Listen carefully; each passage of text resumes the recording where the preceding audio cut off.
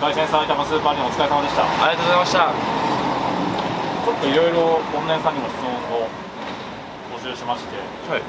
イエローバックス VS ムートンの真相、えー、一部であれは台本だったんじゃないかっていう話をゼロですね台本の可能性は。はい。僕もお客さんとか他の正社員さんも審査員席だと思うんですけどと全く同じで出てきてからなんだなんだっていう感じだったんで全く台本ではありません。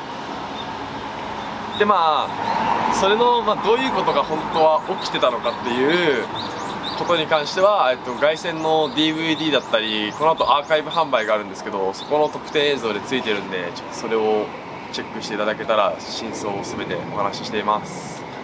ありがとうございます。あとですね一部でちょっとオンラインジャップさんが司会を引退するんじゃないかって噂が。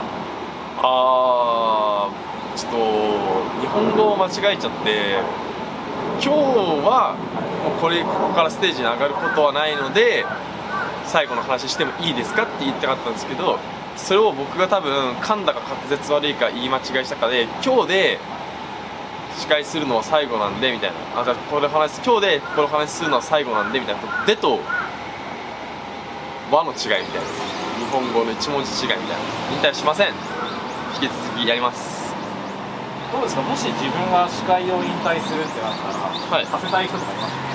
あーでもにその時の20代年齢で言ったら20代前半ぐらいの人に引き渡したいですね。23歳4歳ぐらいですかベストなんじゃないかなと思ってます例えば誰？